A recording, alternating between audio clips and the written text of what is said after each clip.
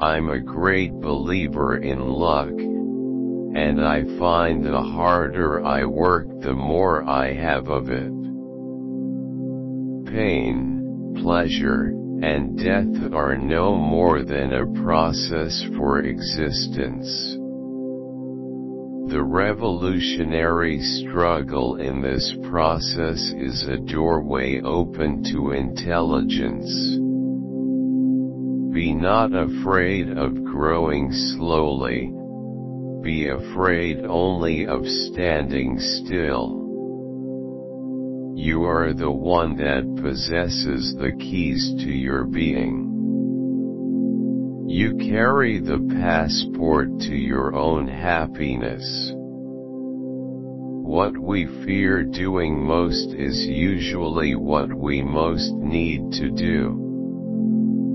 Though no one can go back and make a brand new start, anyone can start from now and make a brand new ending. It is never too late to be who you might have been. When the whole world is silent, even one voice becomes powerful.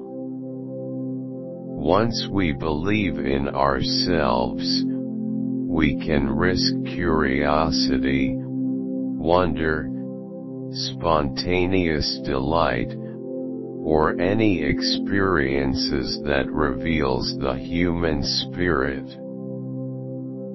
First things first might be a cliché, but it's a useful one that means prioritizing what matters most to you and believing there is no wrong answer. The will to win, the desire to succeed, the urge to reach your full potential, these are the keys that will unlock the door to personal excellence.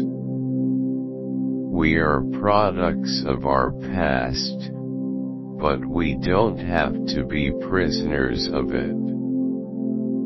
The tragedy in life doesn't lie in not reaching your goal. The tragedy lies in having no goal to reach. When we're growing up there are all sorts of people telling us what to do when really what we need is space to work out who to be. Be patient with yourself. Self-growth is tender, it's holy ground. There's no greater investment. There is nothing noble in being superior to your fellow man. True nobility is being superior to your former self. The power of imagination makes us infinite. When someone tells me no, it doesn't mean I can't do it it simply means I can't do it with them. Accept responsibility for your life. Know that it is you who will get you where you want to go, no one else. Someone is sitting in the shade today because someone planted a tree a long time ago. With self-discipline most anything is possible. When you get into a tight place and everything goes against you, never give up then, for that is just the place and time that the tide will turn.